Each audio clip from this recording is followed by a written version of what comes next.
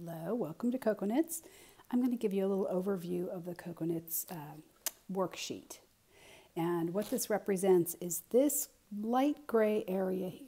This is the seamless yoke. So in the Cocoknits method, you first build up the shoulders and then you join everything.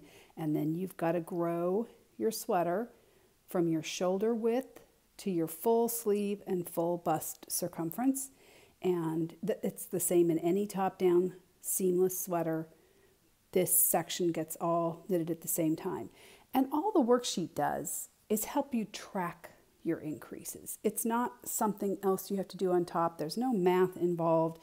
It just helps you track those increases. So let me show you what that looks like. Here is Cocoknits worksheet all filled out. And you can see that it's got colored vertical lines. And those lines match up to the stitch markers in your knitting. So when you're knitting that part, you've got colored markers that separate each section of your sweater and they match up to your worksheet. So there's my red marker, this is my front section. Between my green and orange is my left sleeve, etc., etc., all the way across. So what we do to get this set up, and this is where the Cocoknits patterns differ. Instead of paragraphs of at the same time, at the same time, what the Cocoknits patterns do are give you um, the starting stitch count, which you just write in. You just copy it right off the pattern, and hopefully it's what you have for your starting stitch counts. And then it's going to tell you how many rows are going to be involved in your seamless yoke for your size. Draw a line under whatever row it is. And that represents your seamless yoke. And then it tells you how to fill in each of these columns, sleeves first, You've got to get from starting to ending stitch counts, and this is how you're going to do those increases and then for the back and for each front. So it tells you how to fill this in in the pattern.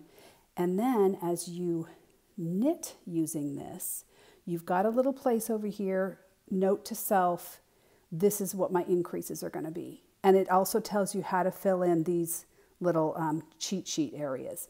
If you want to do a different type of increase, that's fine. But if you want to do it per the pattern, it tells you what to write here. So this way, you can see that says plus one before a marker. If you have an increase before the marker, you're going to read this as you knit, going from right to left across your row. So if you have a, a plus one, I use check marks because I'm lazy, before a marker, you can see in row one, I've got a, an increase before my orange marker. What does that mean? It means two stitches before the marker, I need to do a knit through the right loop, knit two. If your increase is after your marker, it's defined there. So as you knit across this row, you're just gonna follow this exactly, knit over here. You've got an increase after the green marker. So you're just gonna do the increase before or after the green marker, before the orange marker, and just follow right across. The shaded lines are purls, so you're just going to purl back without doing anything on this pattern. But that is what the worksheet does for you.